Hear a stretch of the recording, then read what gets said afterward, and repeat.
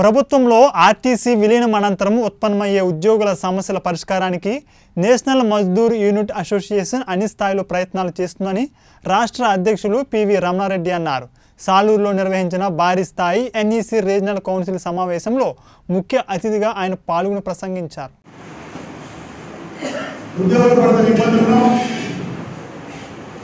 ఆ సమస్యల పరిష్కారానికి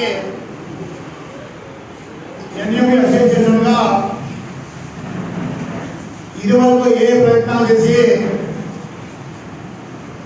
ఎంత మేరకు సక్సెస్ అయినామో ప్రభుత్వ ఉద్యోగుల సందర్భంగా ఏపీఎస్ఆర్టీసీ ఉద్యోగులందరూ కూడా ఏదైతే ఉద్యోగుల ఆకాంక్ష ఏదైతే ఉందో ఆకాంక్షను రాష్ట్ర ముఖ్యమంత్రి వర్యులు జగన్మోహన్ రెడ్డి గారు నెరవేర్చినప్పటికీ దాదాపు యాభై ఐదు వేల మంది ఉద్యోగులు నిరంతరం ఈ సంస్థ కోసం పనిచేయచ్చు గౌరవ ముఖ్యమంత్రి వర్యులు రాష్ట్ర ప్రభుత్వం అయితే ఆలోచన అనుగుణంగా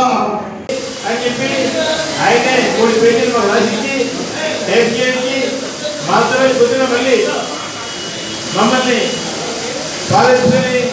నా జన్మ ధన్యమైంది సార్. మీతో రెండు రోజులు మీరు ట్రావెల్ చేసి ట్రావెల్ చేసి నేను